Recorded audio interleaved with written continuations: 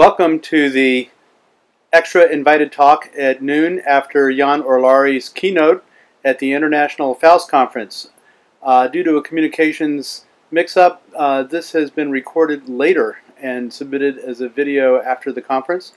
Um, it's about Faust and the Analog Devices SHARC module. I'm presenting this along with Pat Scandalis, who has done most of the work integrating Faust into the SHARC audio module.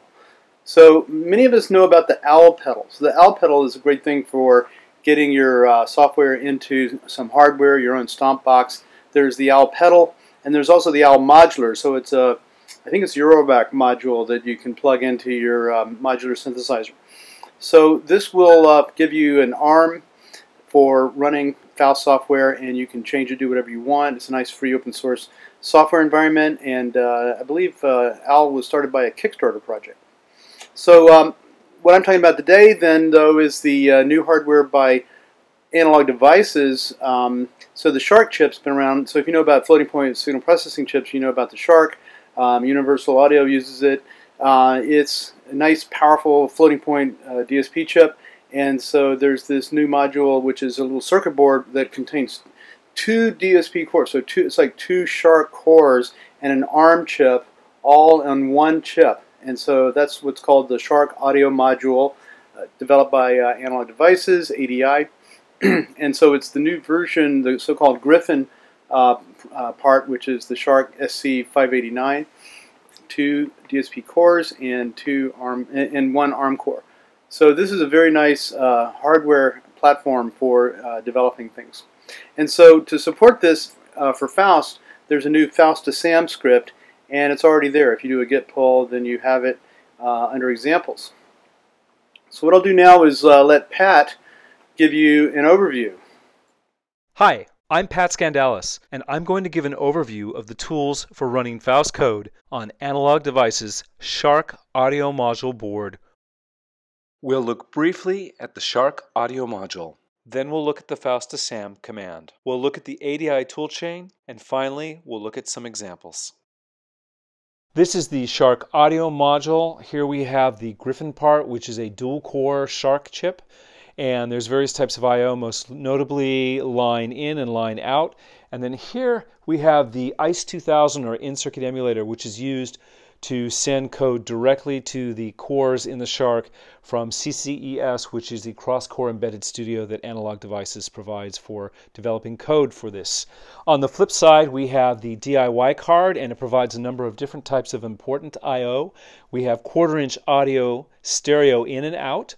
We have conventional MIDI DIN in, out, and through, and there are a number of switches which are mapped to MIDI continuous controllers, and there's a couple pots which are also mapped to MIDI continuous controllers. The Faust SAM command is a part of the Faust installation and is used to convert your Faust algorithm into three C++ files that can be dropped into Analog Devices' bare metal framework for the SAM board. Alternatively, you can use the Faust online editor to generate these three C++ files. Drag the DSP file into the drop zone for the editor. You can try the algorithm with the play button. Reverb. The export button with the SAM drop-down option is used to export the three C++ files for the SHARC audio module. Let's take a quick look at the Faust installation. In the Faust installation, you'll find a directory called examples. And then within examples, you'll find a directory called SAM, which contains a number of different uh, examples that can be run on the SHARC audio module.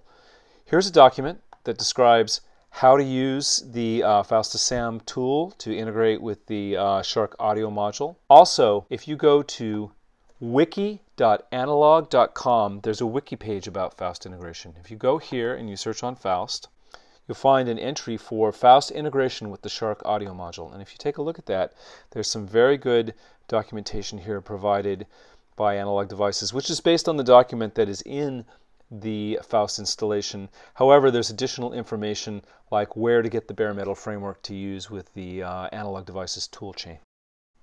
Let's look briefly at a few of the examples that are in the Faust installation under Examples, SAM. So there are a number of uh, different individual uh, effects processing units, things like chorus, echo, flanger, freeverb. There's also a full effects chain which includes all four of these effects. And the biggest example in here is the one entitled Virtual Analog, which is a full monophonic uh, 70s style virtual analog synthesizer. Let's take a look at a couple other things that can be found in the virtual analog example directory. There is a Touch OSC interface which can be used to use Touch OSC as a MIDI controller to control the virtual analog synthesizer. Also, all the MIDI mappings are provided in a spreadsheet, very detailed set of MIDI mappings. Virtual Analog for Browser is intended to be run in the Faust Online Editor. It's just the Virtual Analog Synthesizer. And Virtual Analog with Effects for Browser is the Virtual Analog Synthesizer and the effects chain, and it's intended to be run in uh, a browser in the Faust Online Editor.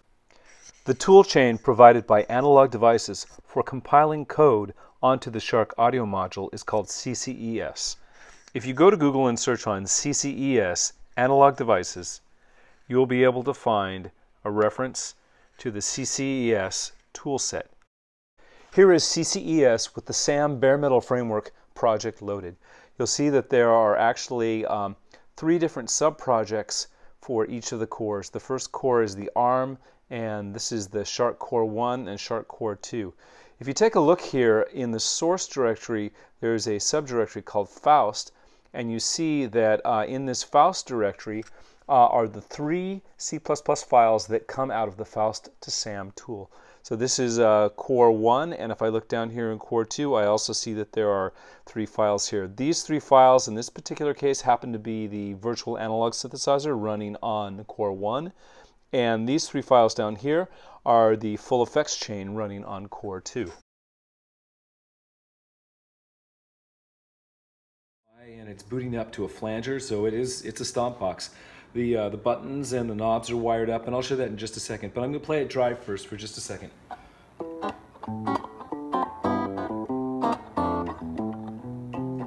And now I'm going to turn on the flanger.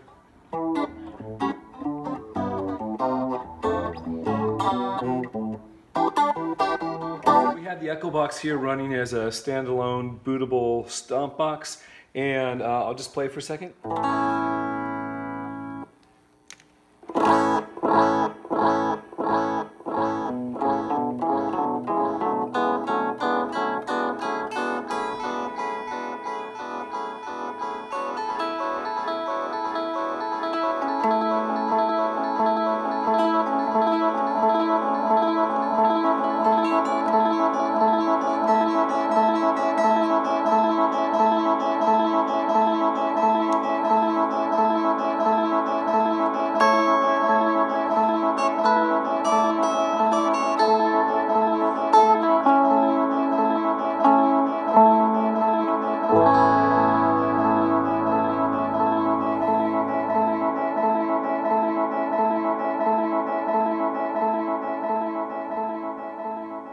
Here we have the uh, bootable chorus stomp box, and I'll just play it dry at first so you can hear what it sounds like.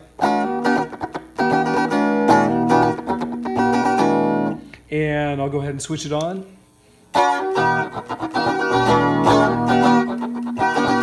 That's a big sound.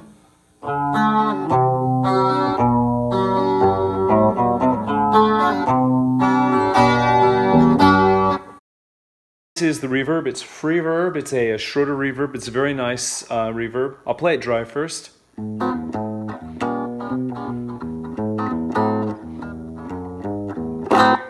And now I'll turn it on.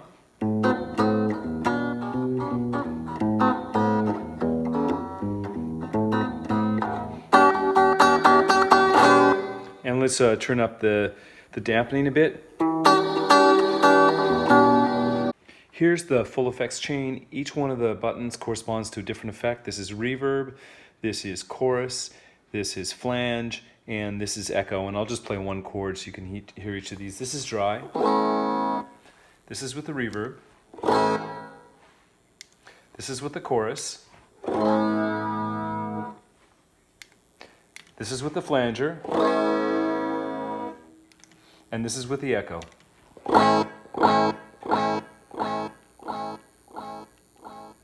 This is dual core processing. The synth is running on core number one and the effects on core number two. So here we have some reverb. Here we have some chorus. And here we have some flange. Here is a SHARC audio module with a DIY board. It's not connected to uh, an emulator. It's only connected to power, audio in, audio out, and then there's a MIDI connection. It's set up to boot to the virtual analog synthesizer. So we're gonna go power it up here, and I'll just play a couple notes.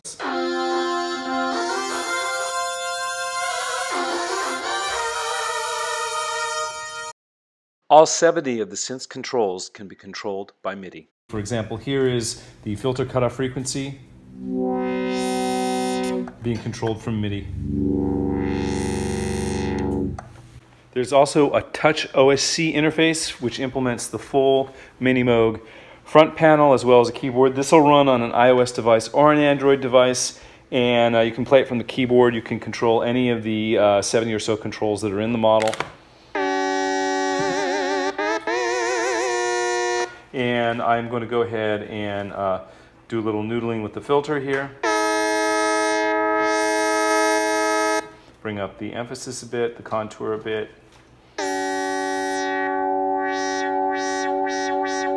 Classic analog filter. And now I'll switch to page number two, and uh, these are the controls for um, the effects which are running on core number two, and I'm just going to play with the rate of the chorus.